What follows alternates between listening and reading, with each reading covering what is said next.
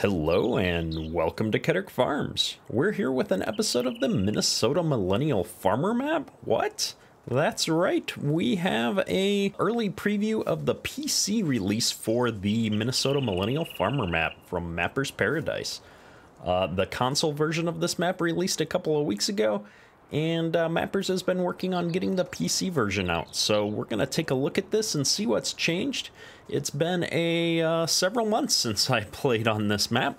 Uh, and so some of the changes that are here are things that I've actually seen and shown off in past videos, uh, such as the logos on the vehicles, but uh, this might be new to uh, people who didn't get a chance to get some of those earlier versions of the map. I'm going to do my best to cover all of the changes from the earlier versions and uh, just show off the map in general. So I think one of the first things to show off is that uh, we do have the Minnesota Millennial Farmer logo on uh, both the truck here, as well as if we run over here, the semi has this logo on it, the Wilson trailer has the logo on it, and uh, with the mud flaps.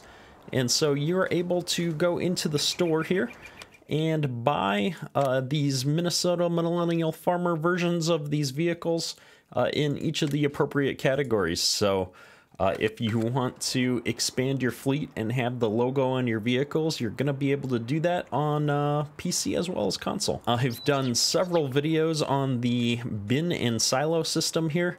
Uh, I'm happy to say that I don't think this has really changed much. There is a courseplay mode on this. Um, I did a video tutorial on how to use this bin system a while back, and so that should still be uh, accurate as uh, this has been something that's been in the game since uh, I did my Let's Play series on this map. And so you're going to be able to put your corn into the wet or dry silo and uh, then come into the shed here and also uh, fire things up to transfer that wet corn to the dry side and uh, have that kind of move through and give you that more realistic feel to the gameplay. If we look in here at the uh, commodity prices menu, you can see that you've got two different capacities in here. Uh, the top row, your actual silos are uh, the dry storage, and then this other silo capacity would be your wet bin storage.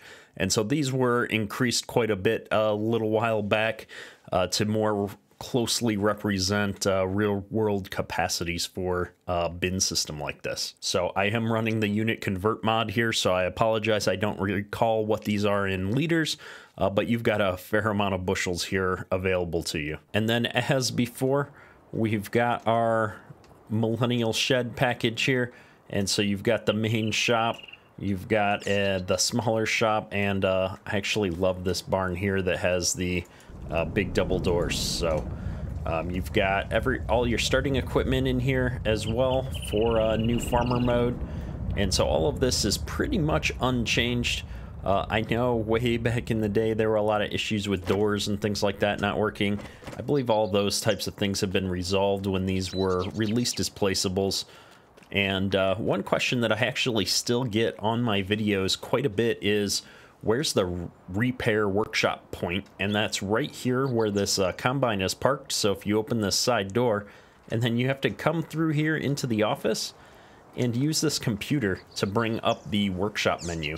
And so I always thought that was a really cool little feature uh, for the shed on this map. And so um, that's how that works for anybody that uh, is curious about that. And then one last thing on the bins here, you've got two unload points on the back side of these bins. And so you've got an auger right here and you've got another auger right back here that you can fire up and use to unload the bins into the semis. And if I recall right, you can come back here and actually fire these up with the uh, keypad and that's going to turn the auger on, make the noise, and allow you to unload these into your uh, semi-trailers. One of the other cool features with this map is you do have some of this uh, yard decoration stuff laying around. You've got pallets, you've got uh, tanks and just miscellaneous things. You've got this camper, and so you're still able to come in here uh, to your garage and find those decorative items on the map and you should be able to sell those if that's something that you're not terribly interested in. You've got um, the same for some of the other farms on the map. And so you can get rid of, you know, for example, the main farm decoration.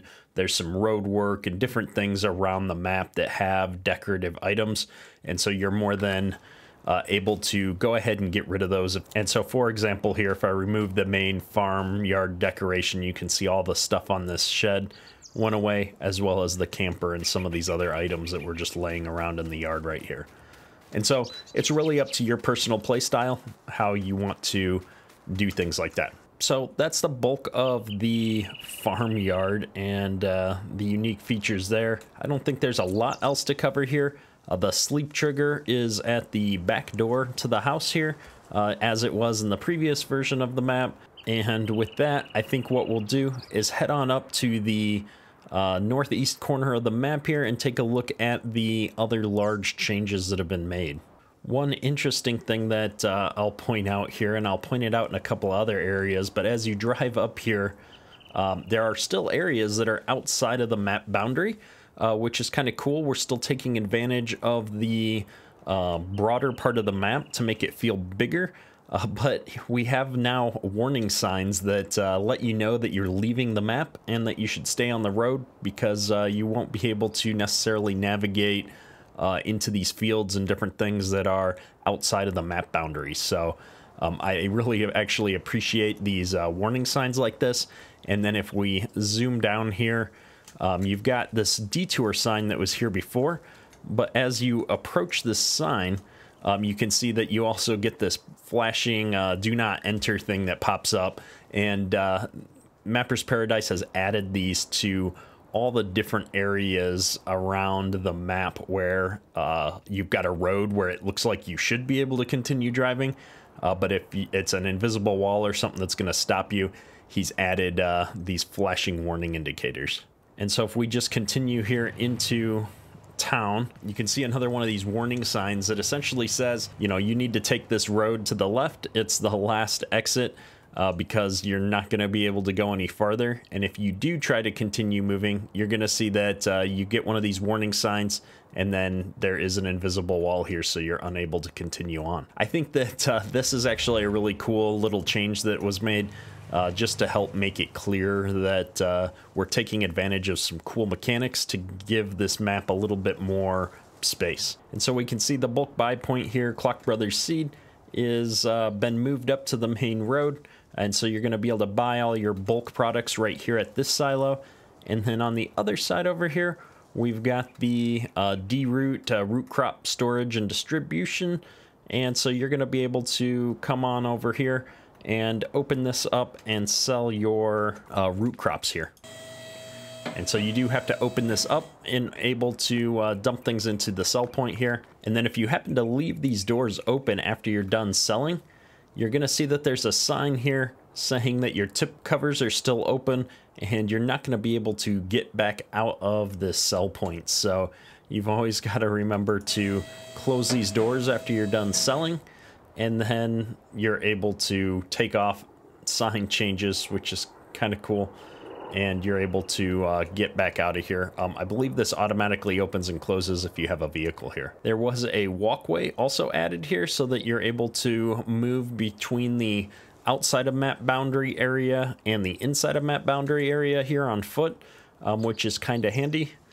And then likewise uh, to the other side, there's a warning here as you leave the map as well. We do have our standard sell point here. I don't think much has changed with this sell point. There is still a working train that moves back and forth on these tracks.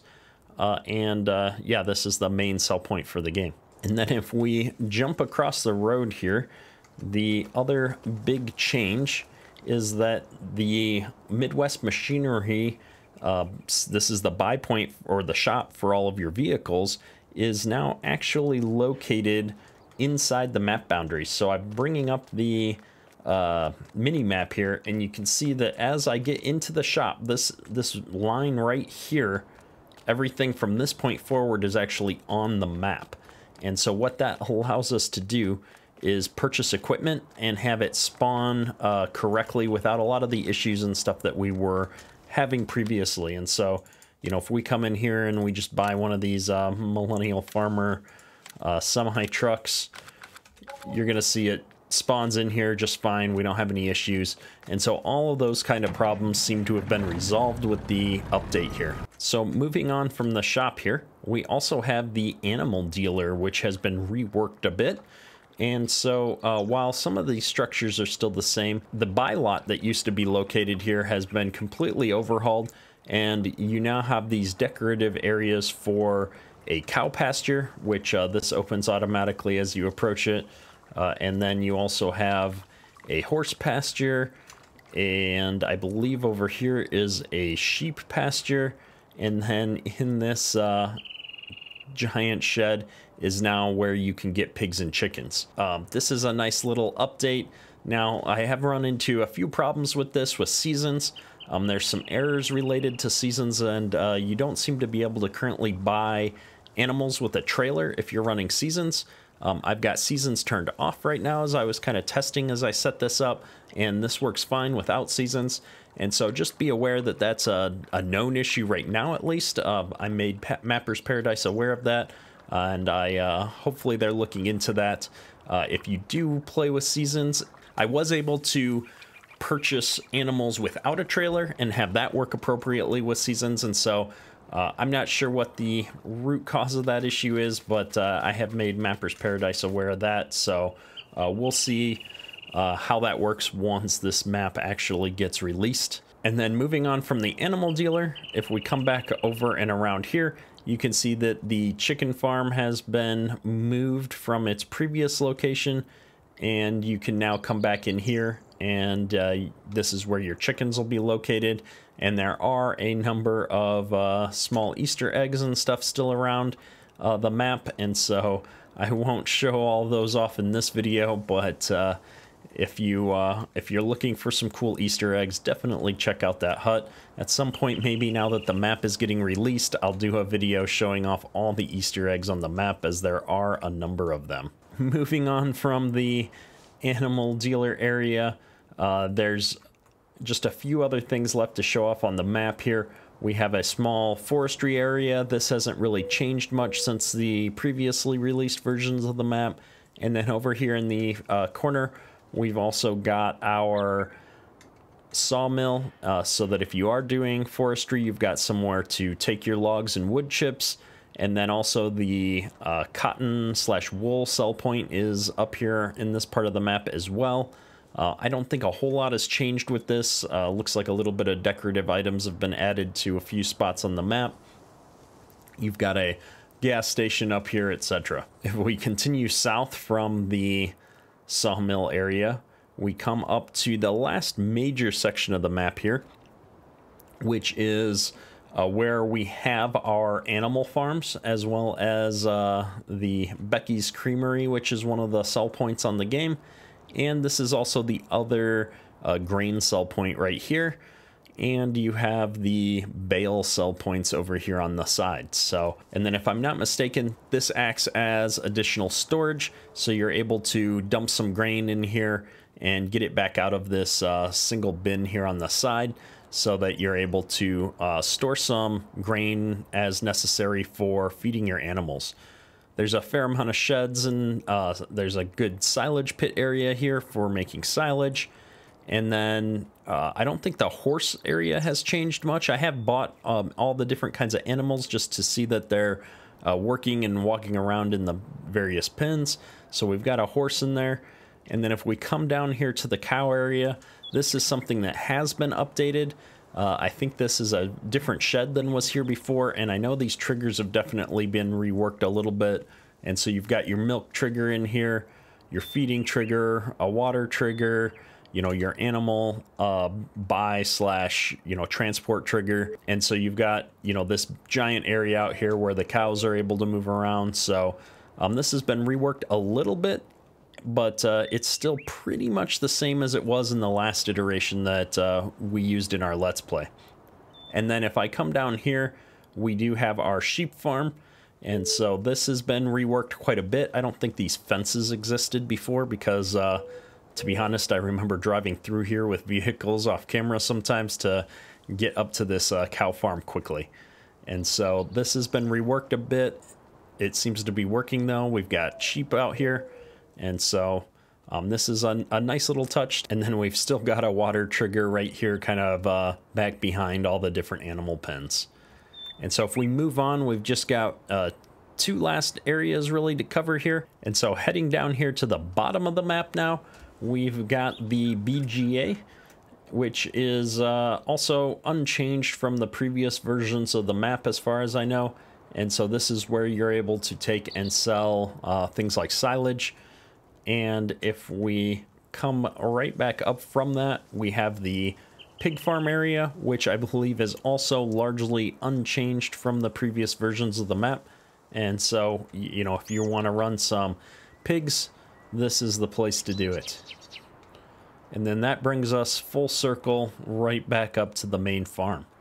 And so this is a map that I have spent an enormous amount of time on over the uh, last year.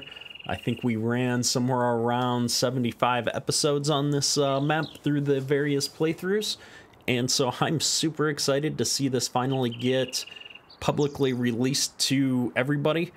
And uh, as far as I know, this is being sent off to Giants for testing on PC again at some point uh, in the next day or so. And so hopefully we'll see this make its way out uh, on the Mod Hub in the next uh, several days. With that, if you have any specific questions about the map, feel free to leave a comment below. That's all for today. Kederk, out.